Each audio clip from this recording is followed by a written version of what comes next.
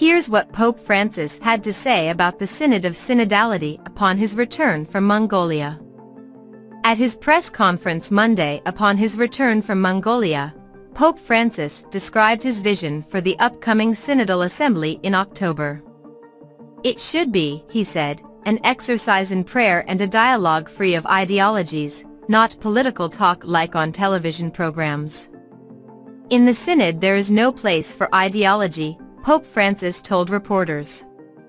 In the Synod there is no place for ideology, there is room for dialogue.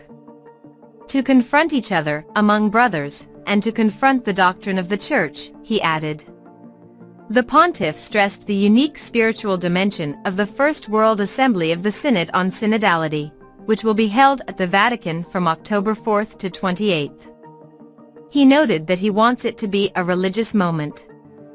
He stressed that the Synodal Assembly will have three to four minutes of silent prayer between discussions, and stressed that this prayerful atmosphere should be what distinguishes a Synodal Assembly from parliamentarism.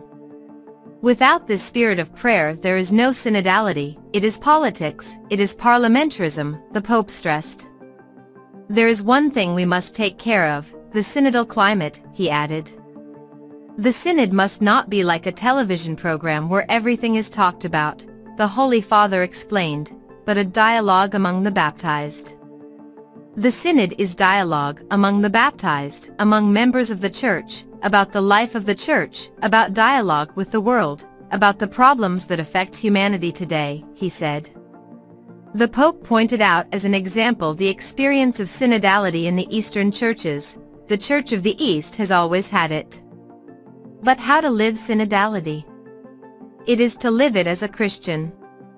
And, as I said before, without falling into ideologies. He was also asked about a recently published book with a foreword by U.S. Cardinal Raymond Burke that compared the Synod on synodality to opening Pandora's box. In response, the Pope recalled how some women religious had also expressed their fears about the Synod to him, saying they feared changes in church doctrine. The successor of Peter pointed out that at the root of these kinds of ideas about synodality are always ideologies, adding that it is ideologies that are responsible for dividing the faithful. He explained that ideologies are a doctrine in quotation marks, that they are like distilled water, without taste and that they are not true Catholic doctrine. And that so often scandalizes, as it scandalizes the idea that God became flesh, that God became man, that the Virgin preserved her virginity. That scandalizes, the Pope affirmed. The Pope also stressed that the news about the Synod should not be read as political palaver, adding that the Information Commission has the task of transmitting the ecclesial spirit, not the political one. He also asked that they should not forget that the protagonist of the Synod is the Holy Spirit.